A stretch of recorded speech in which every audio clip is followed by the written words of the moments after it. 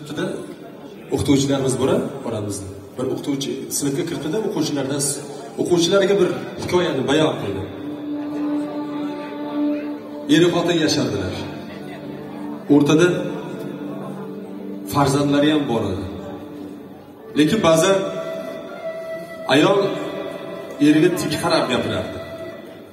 Gaplarini qaytarib baqirib "Ey, boring! degan so'zlar bilan gapirardi. Er bir kun o'zicha o'yladi shu mandan nimadir xato o'tganda qaysidir istagini to shu kungacha bajarmay kelayotgandirman balki. Bu ko'rayotganlarim shunga yarasha bo'layotgandir. Ham man ham bir er bo'lib bir oila boshi bo'lib ayolimni qo'lidan ushlab biror joyga bir olib borib aylantirib kelaychi.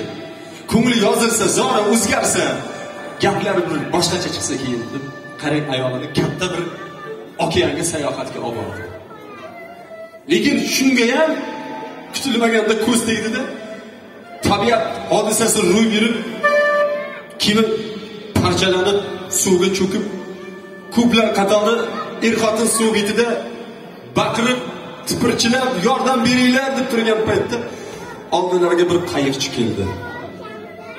Xavotir olmanglar chiqinglar sizlarni qutqaraman deb.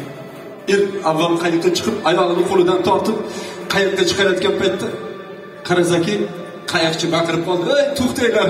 Qayiq yonboshlab cho'kyapti uch kishini ko'tarmaydi shekilli. To'xtang to'xtang. Erga qarab faqat bittalaringizni qutqara olar ekanman xolos qarang qayiq cho'kyapti bizni ko'tara olmayapmiz ayting kimni qutqaray sizmi ayolingizmi? Faqat tezroq gapiring desa er shoshilgan holatda ham o'yladida shu faqat manga zulm qildi so'zlarimni qaytardi.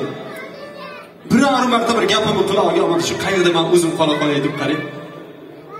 Ayolini suvga yetadi yubordi lekin ayol suvga tushib ketayotgan paytda bir so'zni aytishga ulgurib tushib ketdida suvga sho'ng'ib ketdi. Ana shundan keyin er beixtiyor turib yig'ladi. Dod soldi qutqaray desa qutqarolmaydi qo'li yetmaydi. Shunda o'qituvchi shogirdlaridan so'radi qani bolalarim endi aytinglarchi erga aka ayol suvga cho'kib ketayotgan paytda eriga nima deb tushib ketdi? Uni shunchalar yig'ladi. Birin ketin javob bera boshladilar. Unisi u dedi bunisi bu dedi va oxirida o'tiradigan bir g'amgin yigit turib javob berdi. Ustoz u ayol suvga tushib ketayotgan paytda bir so'zni aytdi. Iltimos dadasi bolalarimga shod bo'ling degancha suvga cho'kib ketdi degan ekan. Qarang eng yomon ayol ham bolasini yaxshi ko'rar ekan. Biz ularni yomonga yo yaxshiga ajratishimiz mumkinmi? Yaxshi ayollarniki mehrini tasavvur qila olmaymiz ana shunday ayollar o'tirishdi davramizda bola katta bo'ldimi? U xonadonda yaxshi ayol bor. So'z kelinimizda onajon